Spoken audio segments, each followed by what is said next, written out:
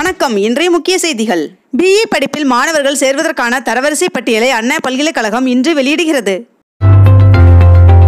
இன்று முதலமைச்சர் மு ஸ்டாலின் அவர்கள் டெல்லி செல்ல இருப்பதாகவும் அங்கு பிரதமர் நரேந்திர மோடி அவர்களை சந்தித்து தமிழ்நாட்டின் நலனுக்காக பல்வேறு கோரிக்கைகளை முன்வைக்க இருப்பதாகவும் தகவல் வெளியாகியுள்ளது.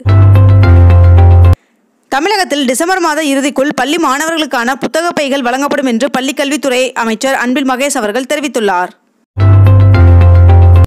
தமிழகத்தில் அரசு ஊழியர்களுக்கு மூன்று சதவீதம் அகவிலைப்படி உயர்வு வழங்கப்படும் என்று முதலமைச்சர் மு க ஸ்டாலின் அவர்கள் அறிவித்துள்ளார். மேலும் விடுதலை போராட்ட வீரர்களுக்கு மாதாந்திர ஓய்வூதிய தொகை இன்று முதல் பதினெட்டாயிரத்திலிருந்து இருபதாயிரமாக உயர்த்தி வழங்கப்படும் என்றும் தெரிவிக்கப்பட்டுள்ளது. தமிழகத்தில் பதினொன்றாம் வகுப்பு பொதுத் தேர்வை ரத்து செய்யும் திட்டம் எதுவும் தமிழக அரசுக்கு இல்லை எனவும் ரத்து செய்யப்பட உள்ளதாக வெளியான தகவல் உண்மை இல்லை என்றும் பள்ளிக்கல்வித்துறை அமைச்சர் அன்பில் மகேஷ் அவர்கள் தெரிவித்துள்ளார். தேனி மின்வாரிய செயற்பொறியாளர் அலுவலகத்தில் இன்று காலை பதினோரு மணிக்கு மின் நுகர்வோர் குறைதீர் கூட்டம் நடைபெற உள்ளது.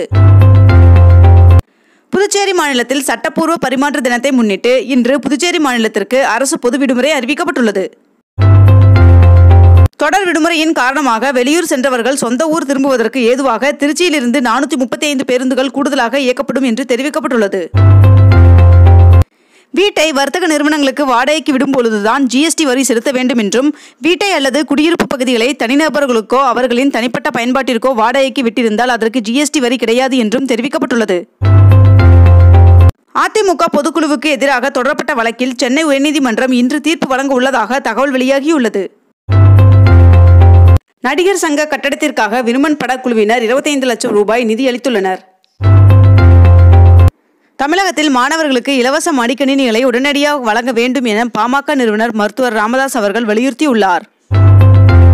தகசால் தமிழர் விருது பெற்ற முதுபெரும் அரசியல் தலைவர் நல்லக்கண்ணு அவர்கள் விருதுடன் வழங்கப்பட்ட பத்து லட்சத்துடன் ஐயாயிரம் சேர்த்து தமிழக அரசின் நிவாரண நிதிக்கே வழங்கியுள்ளார்.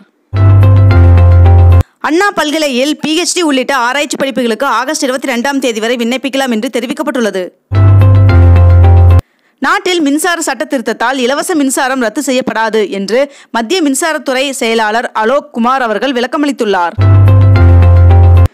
நாடு முழுவதும் நடைபெற்ற மருத்துவ நுழைவுத் தேர்வுக்கான நீட் தேர்வு முடிவுகள் ஆகஸ்ட் பத்தொன்பதாம் தேதியன்று வெளியாகும் என்று தகவல் வெளியாகியுள்ளது. தமிழகத்தில் ஆகஸ்ட் பதினெட்டாம் தேதி வியாழக்கிழமை முதல் மணல் லாரிகள் ஓடாது என மணல் லாரி உரிமையாளர்கள் கூட்டமைப்பு அறிவித்துள்ளது. இன்று தமிழகத்தில் நீலகிரி கோவை ஈரோடு சேலம் மற்றும் தருமபுரி ஆகிய மாவட்டங்களில் ஓரிரு இடங்களில் கனமழை பெய்ய வாய்ப்புள்ளதாக வானிலை மையம் தெரிவித்துள்ளது. இருபத்தி ரெண்டு கேரட் ஆபண தங்கத்தின் விலை சவரனுக்கு ஒரே நாளில் நூற்றி தொண்ணூற்றி ரெண்டு ரூபாய் அதிகரித்து ஒரு சவரன் முப்பத்தி ஒன்பதாயிரத்தி முன்னூற்றி பன்னிரெண்டு ரூபாய்க்கு விற்பனையாகிறது. அதேபோல் ஒரு கிராம் வெள்ளியின் விலை அறுபத்தி நான்கு ரூபாய் எண்பது பைசாவாகவும் விற்பனை செய்யப்பட்டு வருகிறது.